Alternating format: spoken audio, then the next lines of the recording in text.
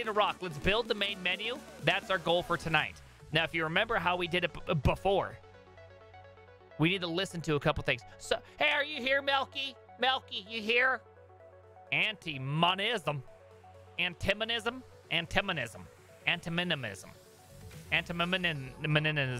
So why don't you have your pronouns listed on your stream? I got banned from one Twitch stream because I didn't know what the streamer's preferred pronouns were.